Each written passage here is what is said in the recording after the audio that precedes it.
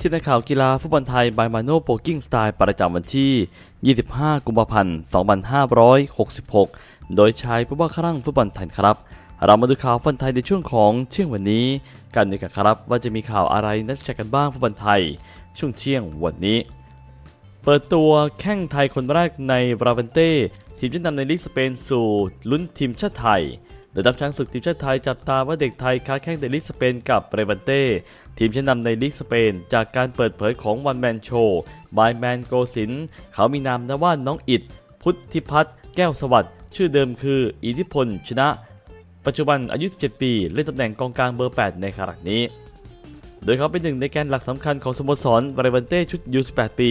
ซึ่งเขาเพิ่งจะย้ายจากทีมในอังกฤษเข้าสู่เลบันเต้เมื่อฤดูกาลที่แล้ว จึงเป็นนักเตะที่ต้องจับตาให้ดี เขาอาจจะมาเป็นแกนหลักสำคัญให้กับทางทีมชาติไทย ในอนาคตอันใกล้นี้ำหรับทางสโมสรเรเวนเต้นั้นผ่านการเล่นในลีกสูงสุดลาลิกาสเปน มายาวนานมากกว่า 16 ฤดูกาล และตอนนี้เรเวนเต้ก็รั้งอันดับ 3 ของลีกบรองสเปน แต้มห่างอันดับหนึ่งเพียงแค่ 2 แต้มเท่านั้น ซึ่งเรเวนเต้มีโอกาสสูง ที่จะเลื่อนชั้นกลับไปเล่นในลีกสูงสุดของลาลิกาสเปนในรายการหน้านั่นครับ นะผมเป็นแต่ว่างานนี้ต้องรอดูกันต่อไปก็ได้กัน เห็นน้องคนนี้นะฮะ ดูแล้วมีแววอนาคตต่อไปทีมชาติไทยชุดใหญ่อย่างแน่นอน ก็ฝากติดแฮชแท็กเชียร์ไทยเชียร์ไม่เลิกเชียร์น้องคนนี้กันด้วยครับ เรามาดูประเด็นข่าวต่อมากันครับ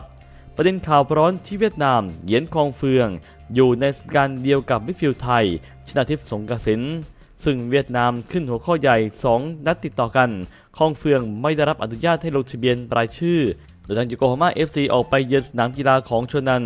คองเฟืองเนี่ยก็ไม่ได้อยู่ในรายชื่อผู้เล่นที่ลงทะเบียน รวมถึงผู้เล่นหลัก 11 คน และก็สำรองอีก 7 คน โดยการขาดหายไปอย่างต่อเนื่องของคองเฟืองจากรายชื่อการลงทะเบียนในรอบที่ 2 ของเจลีกวัน ก่อนการแข่งขันเมื่อทางโค้ชยามาดะนะฮะเปิดเผยในการคัดเลือกบุคลากรของทางโยโกฮาม่า FC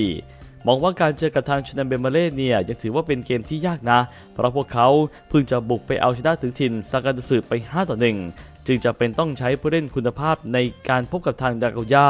มันยากมากที่เรานั้นจะเลือกรายชื่อและเปิดสนามของเจลิกในเจลิกวัน 2023จำนวนผู้เล่นเพิ่มขึ้น 2 เท่าเมื่อเทียบกับฤดูกาลก่อน แต่ผู้เล่นตัวจริง และก็ตัวสำรองในเกมกับทางนาโกย่าล้วนแล้วมีคุณภาพ แม้แต่นักเตะนอกสังกัดเองก็ฝึกซ้อมได้ดีเป็นอย่างมาก ไม่ว่าจะเลือกทางไหน เป้าหมายสำคัญก็คือชัยชนะโดยเจวันลีกนะฮะในรายการนี้ผู้เล่นจากเอเชียตะวันออกเฉียงใต้ 3 คนได้แก่คองเฟือง ชนาธิปสรงกระสินธ์ และก็สุภโชคสารชาติ ทั้งจากประเทศไทย ในรอบแรกเนี่ยชนาธิปไม่ได้ลงทะเบียนกับทางคาวาซากิฟรอนตาเล่และก็สุภโชคอยู่ในรายชื่อที่ลงทะเบียนของคอนซาโดเลซัปโปโร แต่ไม่ได้รับอนุญาตให้ลงเล่นนะผมเป็นว่างานนี้ประเด็นร้อนกันแน่นอน ต้องมาดูกันต่อไปว่าเกิดอะไรกันขึ้นอีกครั้งอะไรกันเนี่ยเรามาดูประเด็นข่าวจอมากันดีครับคู่หูชนาทิพย์โทโมอากิมากิโนะประการหลังทีมชาติญี่ปุ่น ได้งานใหม่แล้วหลังแขวนสตั๊ด โดยงานนี้ทางโทโมกิทากิโนะอดีตประกันหลังทีมชาติญี่ปุ่น คู่หูต่างสโมสรของสโมสรชนาทิพย์สงกสินหลังประกาศแขวนสตั๊ดได้ไม่นาน ล่าสุดมากิโนะรับงานใหม่ เข้ารับหน้าที่เป็นประธานสโมสร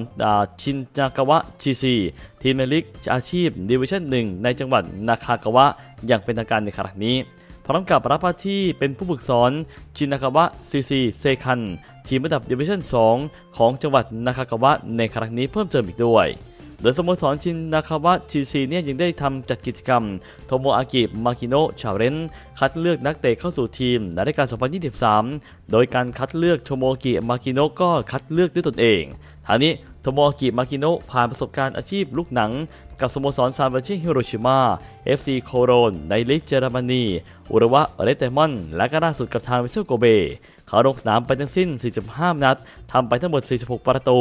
ส่วนในทีมชาติเขาติดทีมชาติญี่ปุ่นตั้งแต่ชุด U17 ปี จนไปถึงทีมชุดใหญ่ ลงสนามให้กับทางทีมชาติญี่ปุ่นมาแล้ว 38 นัดทำไปทั้งหมด 4 ประตูในครั้งนี้ เป็นว่างานนี้ต้องรอดูกันต่อไปก็แล้วกันว่าจะเป็นเช่นไรนะฮะ ถือว่าเป็นอีกหนึ่งคู่หูของชินาทิพย์สงกสินสมัยที่อยู่คอนซัตด้วยกันนั่นเอง เรามาดูประเด็นข่าวจอมากันดีครับ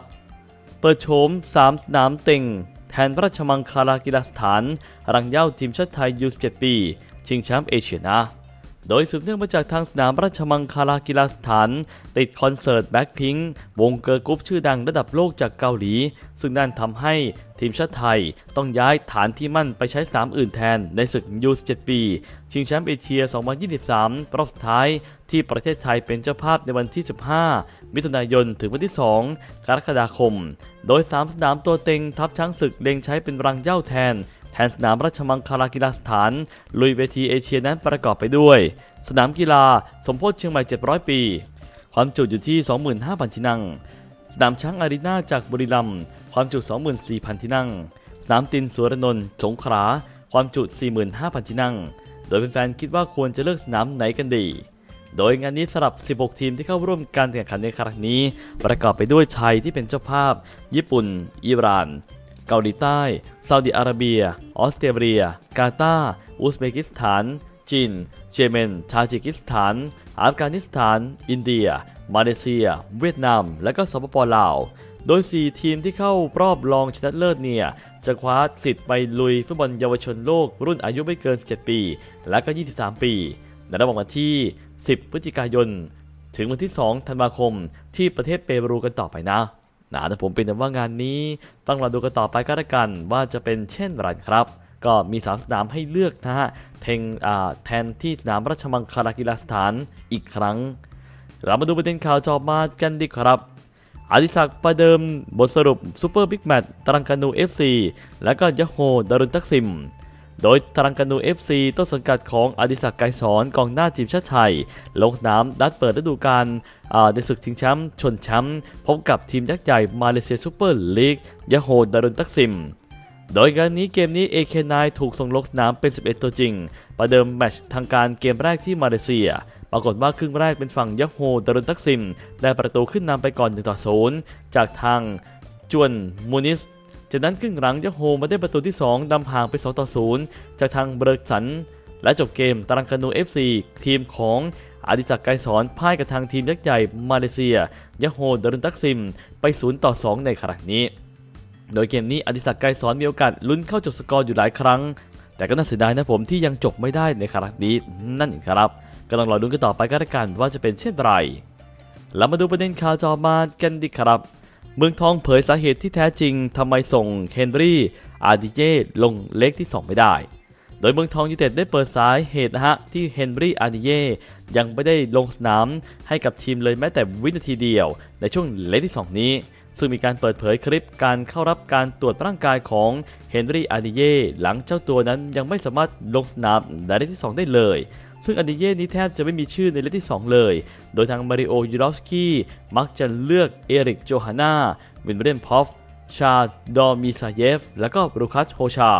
ล่าสุดนั้นเมืองทองได้เปิดเผยคลิปที่เจ้าตัวนั้นต้องมาตรวจร่างกาย และก็รักษาอาการบาดเจ็บกับคุณหมอโต้ง นาวาโทนายแพทย์พรเชพมามณี แพทย์ผู้เชี่ยวชาญสาขาศัลยศาสตร์ออร์โธปิดิกส์ ด้านวิทยาศาสตร์การกีฬา เฉพาะทางด้านการผ่าตัดส่องกล้อง ข้อไหล่เข่า สำหรับทางอานิเยร์ฤดูกาลก่อนได้ยิงไปทั้งสิ้น 8 ประตู จากทั้งหมด 14 นัด แต่เลกแรกฤดูกาลนี้เขาลงสนามไปทั้งสิ้น 15 นัดทำไปได้เพียงแค่ 2 ประตู กับอีก 4 แอสซิสต์เท่านั้นเองครับนะผมเป็นแต่ว่างานนี้ต้องรอดูกันต่อไปก็แล้วกันว่าจะเป็นเช่นไรเรามาดูประเด็นข่าวต่อมากันดีครับโทรุโอนิกิเผยผ่านสื่อที่ญี่ปุ่น นักเตะในสเปคของฟรอนตาเล่ในครั้งนี้ โดยจากประเด็นที่ถูกพูดถึงอย่างมากสำหรับแมตช์นัดเปิดฤดูกาลเจลีกของญี่ปุ่น ที่ทางโทรุโอนิกิกุนซือชาวญี่ปุ่น ถอดชื่อชนาธิปสรงกระสินเพลย์เมเกอร์ตัวเก่งทีมชาติไทยออกจากทีม ไม่มีชื่อแม้กระทั่งสำรอง ในเกมที่ฟรอนตาเล่พ่ายคาบ้านให้กับทางแชมป์เก่ามารินอสโดยทางโทรุโอนิกิได้พูดถึงผู้เล่นในสเปคของฟรอนตาเล่ต้องเล่นด้วยความมั่นใจ เล่นด้วยสไตล์ที่ดุดัน ทุกคนจะต้องแข่งขันกันตลอดเวลา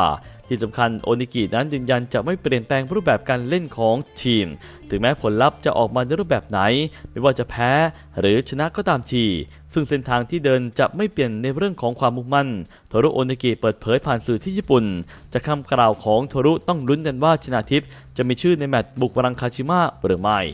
และนี่ก็เป็นเที่ยงทันข่าวกีฬาฟุตบอลไทย by มาโนโปกิ้งสไตล์ประจำวันที่ 25 กุมภาพันธ์ 2566 โดยชายผู้บ้าคลั่งฟุตบอลไทยครับ